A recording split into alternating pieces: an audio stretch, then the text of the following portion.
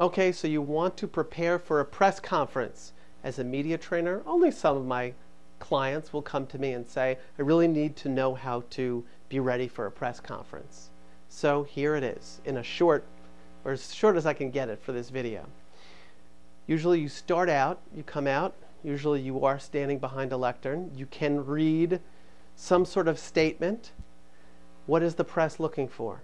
The press wants to find something interesting that they can use. You want to use your soundbite techniques. So they're looking for real emotion. Check my video on soundbites or one of my videos on soundbites.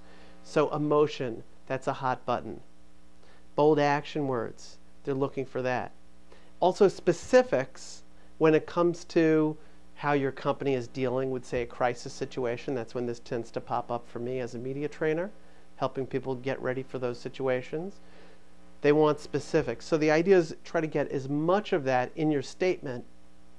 And if you do it in an interesting way using those soundbite techniques, you have a good chance of them using that one portion. And then, of course, not always, but many times it's followed by questions. And then you use your answer system.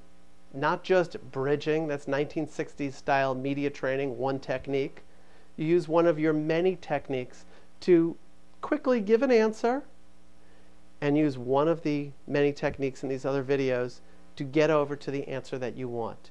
And don't overstay your time because when it's time to go, it's time to go.